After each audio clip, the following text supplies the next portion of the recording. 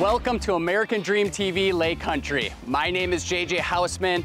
I'm excited, a little surprised to still be your host. Today we are on one of my favorite lake country lakes, Lac La Belle.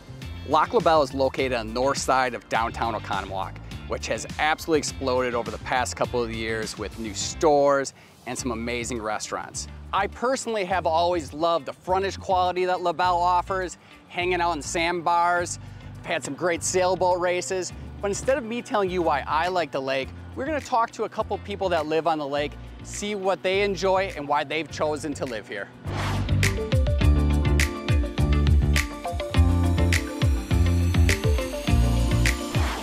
I think I have said this so many times over the last 21 years that we have lived on this lake, but La Belle is a gem. And it's wonderful to live on the lake. The memories we've made here, um, obviously the beauty of La Belle. But I think the biggest thing that I love about living on Lac La Belle is the sense of community. I just want to share with you what I love about this lake is it's just part of my life. I grew up on this lake, I'm third generation. My cousin still lives on this lake. Um, my brother-in-law came from Chicago to join us on this lake. My daughter moved to be near us on the lake. It's just a part of our life. Family's important and by having a place on Lac La Belle, they always want to be here. It's the best entertainment we can provide them, no matter where they are, far away, they just always come back for a great time at Lac La Belle.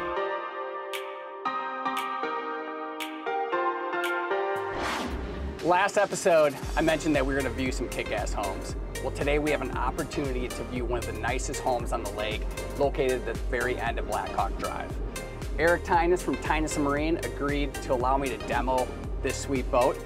Now, Eric, am I right that Tynes Marine is gonna be celebrating their 75th anniversary this year? Yes, we are. Excellent. Well, we are all excited to have an epic party, but for now, we'll take the boat over. You guys can take the drone.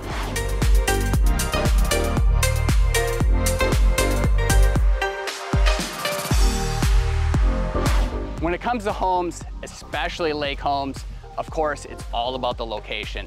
Now this property has it all. It's located in the center of the lake, at the very end of a peninsula, southwest exposure, offering incredible views of the lake. Now some of my team members are inside. They're gonna do what they do and show you this incredible home.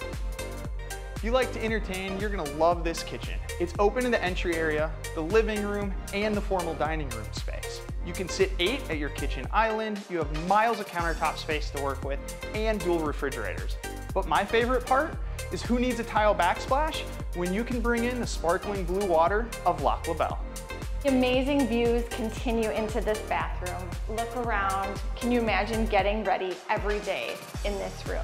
The grand chandelier is gorgeous. The magnificent shower, better than any hotel I've ever been in. Welcome to the lower level of this fabulous Lac La Belle home. Much like the upper level, this area has been designed to be an entertainer's dream. Although this space is quite large, they've done a wonderful job of compartmentalizing the areas to still give you that homey, warm feel that every guest loves. Stone walls to the wood beams, every detail has been thought out. One of my favorite features in this lower level is this giant custom island, designed to ensure that every guest has the perfect view of the game. Preparing food for the big game is just as easy with this custom kitchen designed right off of the bar. All of this beauty in this lower level not to be outdone by the spectacular views of Lac La Belle. There's a gazebo for shade on those hot sunny days and a gas fire pit for late night conversations with friends and family. There's also an expansive granite countertop and built-in grill for lakeside barbecue. Thank you so much for joining us today. Can't wait to see you next time as we continue to explore other lakes and find out what lake is right for you. But right now, it's time to go surfing.